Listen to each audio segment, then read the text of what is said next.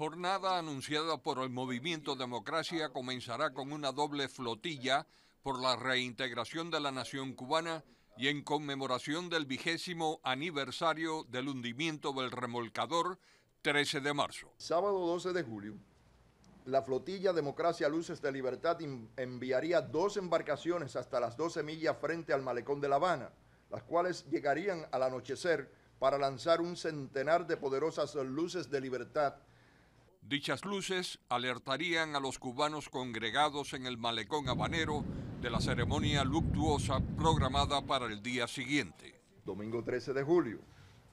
La segunda parte de la flotilla Democracia llegaría frente a La Habana en horas de la mañana con los sobrevivientes y familiares de las víctimas del remolcador 13 de marzo que nos acompañen para realizar la ceremonia de conmemoración. Se espera que activistas del movimiento Democracia en esa fecha lleven flores al malecón y proyecten con espejos lo que ellos llaman destellos de libertad.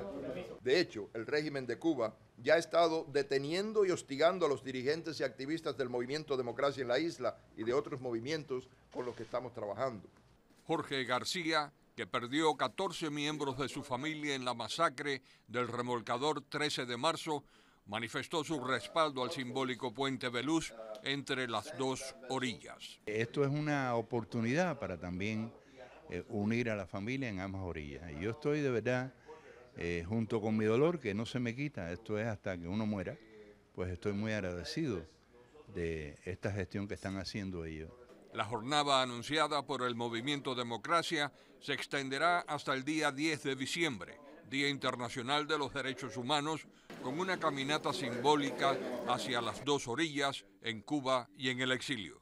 Jorge Río Pedre, Martín Noticias.